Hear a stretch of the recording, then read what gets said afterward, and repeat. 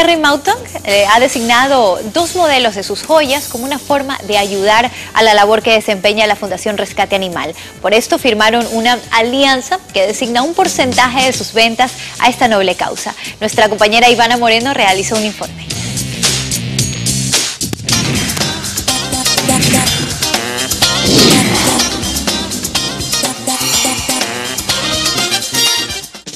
Una alianza importante con el fin de beneficiar a nuestros mejores amigos, los animales, puso en marcha la marca de joyas Merry Mautón junto con la Fundación Rescate Animal en este mes del amor y la amistad.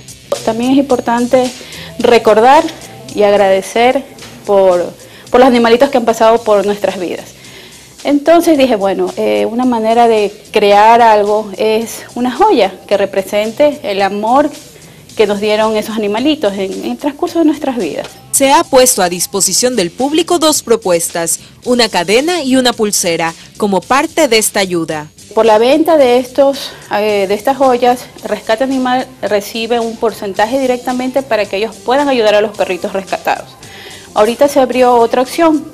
Eh, por ejemplo, si tú quieres hacerte, no el diseño que yo estoy proponiendo, sino, por ejemplo, algo que sea más personalizado, se también aplica eh, para eh, la donación a Rescate Animal. El porcentaje entregado a la Fundación es del 11.20% de la venta de cada producto y tendrá vigencia un año, esperando de esa forma aportar con los animales más necesitados tenemos a nuestro cargo entre 20 y 25 animales que están entre recuperación y animales en adopción.